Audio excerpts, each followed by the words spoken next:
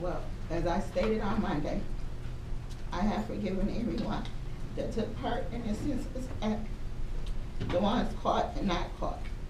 Know that you didn't get away with anything. God sees all and know all. He even knows who really killed her.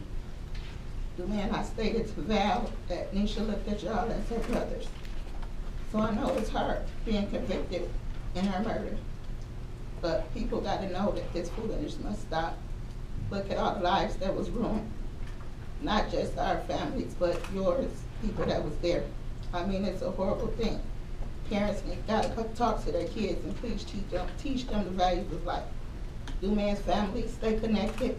You all still have opportunity to see, talk, and write him. I have not had with Nisha. Thanks. Thank you, ma'am.